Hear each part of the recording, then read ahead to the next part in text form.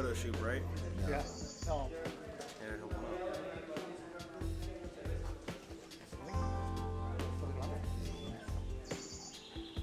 Every single Oh, the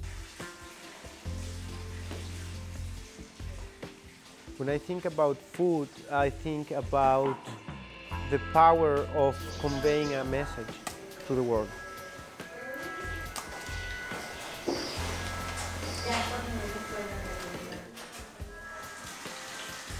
What really drove me to cooking is uh, my family. I think uh, my mother and my both of my grandmothers, the Chilean grandmother and my Ecuadorian grandmother, and all the habits that I was uh, uh, very connected to when, when I was a child.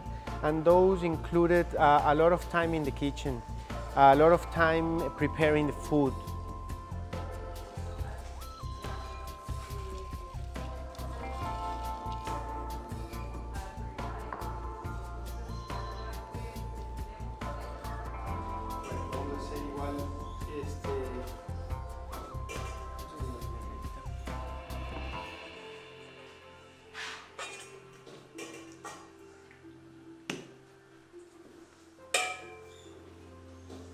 My name is uh, Rodrigo Pacheco, and I am the creator of Boca Valdivia.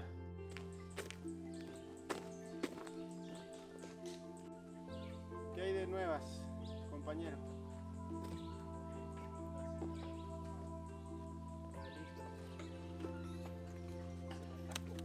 Sí.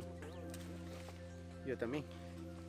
Pensé, pero no. The way I see food is very related to the behavior of the pre-Hispanic ancestral culture that inhabited the, the coast of Ecuador since 12,000 years ago.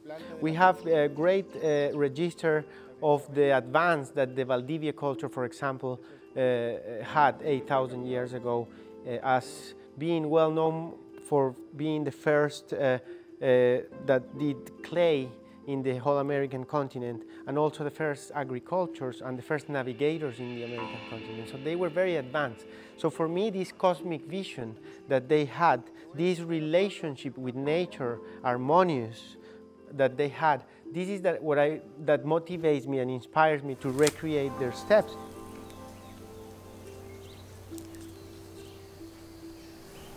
Se le ofrece así una bebida del huerto.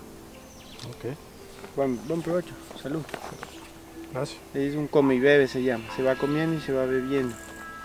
El jugo, la pepa. We have designed a project called Sem- Semilla, Seed, and this is an education for all life. So this is going to be a, an education center for all the children, adults, or elderly people, or young teenager mothers to, to learn, because learning is a right that we should never, uh, never lose. Uh, for the structures we society have created for us. So we want to we want to to create a tool for the next hundred years for education to change the paradigm of life of the whole community.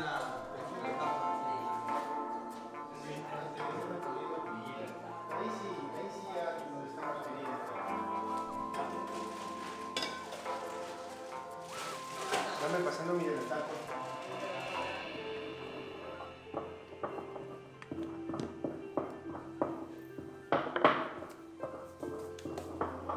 A long time ago, I realized that the social work and the environmental work are key for what I do.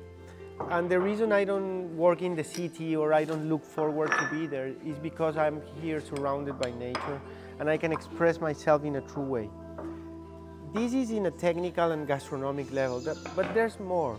You need the emotions, you need a story behind, and also on that dish, you need to change the paradigm of, life of your team, at least for better.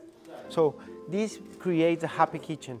So this creates happy food, and then happy guests, and this is an indestructible energy that becomes like a magnetic field that protects the place and and all of us uh, in, in a beautiful way. And we are, we are happy here doing our, our, our job.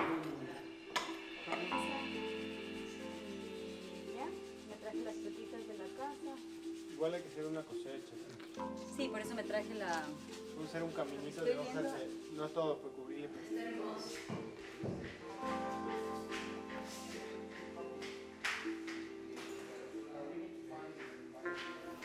Um, para nosotros, em, el desarrollo de este proyecto tiene como base la permacultura, que es, es un sistema de principios, ¿no? No, solo, no solo es social, agrícola, porque a través de la agricultura y de los alimentos nos, nos alimentamos y es, es un acto cotidiano. Entonces, en realidad, todo gira alrededor de la, de la gastronomía, gira alrededor del suelo, de lo que el, el suelo nos produce y también de este ciclo de poder devolverle a la naturaleza. A partir de ahí, nosotros hemos, eh, digamos, complementado estos otros sistemas, el sistema social, eh, económico, para que sea sostenible y poder mantenernos eh, viviendo primero felices, en armonía con el entorno, en un, en un lugar donde podamos contar con, el, con, con la naturaleza y que la naturaleza pueda contar con nosotros, que sea, que sea una relación de ida y vuelta.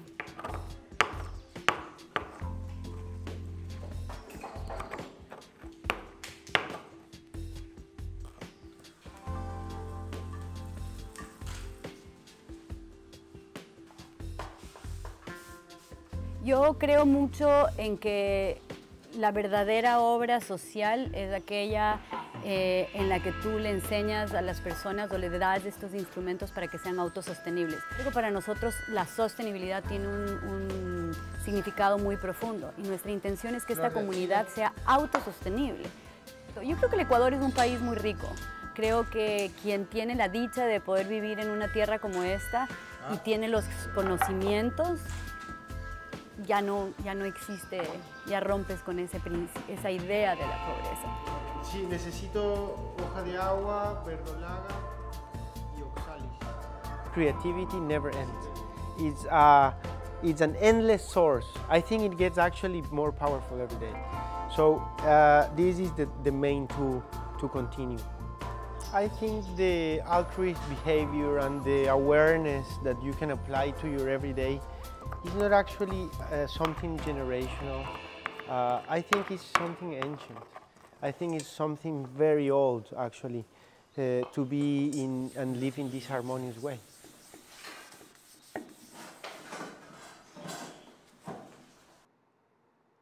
Rodrigo has created workshops in Ecuador with his partner from Netflix's Final Table. He and Charles Michel teach their method of sustainable cooking and show participants how to transform overlooked local ingredients into fine cuisine. We'd love to have your input, so if you know someone who is helping change the world, drop us a line at an at cgtnamerica.com or tweet us at cgtnamerica and tell us about a game changer you would like to see on the show.